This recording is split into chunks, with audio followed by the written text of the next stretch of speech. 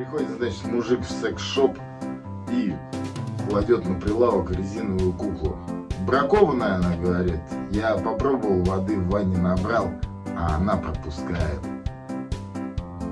Продавец говорит, а почему вы именно вот сейчас, через две недели пришли к нам, чтобы вернуть, уже возврата нет?